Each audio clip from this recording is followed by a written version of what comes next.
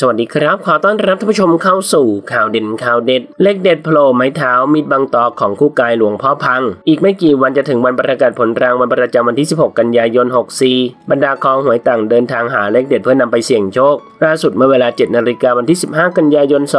2564 ที่วัดบ้านใหม่หมู่ที่ 2ตำบลเขากวางทองอำเภอหนองช้างจังหวัดอุทัยธานี พระอธิการพิสิทธิ์สุทธิจิตโตเจ้าอาวาสวัดบ้านใหม่พร้อมกับญาติโยมชาวบ้านทำความสะอาดที่วิหารของหลวงพ่อพัง ที่ชาวบ้านนับถือสักการะและเป็นที่พึ่งพาทางใจของชาวบ้าน บางคนไม่สบายใจก็มากราบไหว้บางคนก็มาบนบานสารกล่าวกับหลวงพ่อพัง ซึ่งก่อนหน้านี้มีชาวบ้านเข้ามาแก้บนหลวงพ่อพังพร้อมกับได้ขอเลขที่ไม้เท้าและมีด จนมีชาวบ้านได้ถูกรางวัลมาหลายราย หลังจากนั้นก่อนวันประกาศผลรางวัลได้มีชาวบ้านมาจุดธูปบอกหลวงพ่อพัง ก่อนจะนำไม้เท้าและมีดปังต่อ ซึ่งเป็นของคู่กายของหลวงพ่อพังมาเช็ดถู และชาวบ้านก็ได้นำแป้งมาโรย แล้วก็ถูไปถูมาที่ไม้เท้า ปรากฏเลขโผล่ขึ้นมาที่ไม้เท้าเป็นเลข 67ชาวบ้านบอกขึ้นมาว่าหากเป็นอภินิหารหลวงพ่อพัง ให้เห็นเลขที่ปังต่ออีก ต่อมาก็มีเลขโผล่ขึ้นให้ชาวบ้านเห็นอีก เป็นเลข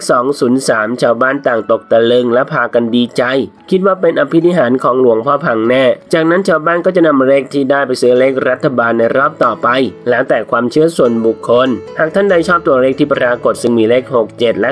203 สามารถใช้เป็นแนวทางในการเสี่ยงดวงตามกันได้เลยครับ ทั้งนี้โปรดใช้วิจารณญาณในการรับชมรับฟังและซื้ออย่างมีสติขอให้ทุกท่านโชคดี ขอขอบคุณข้อมูลจากสยามสตรีทขอบคุณครับ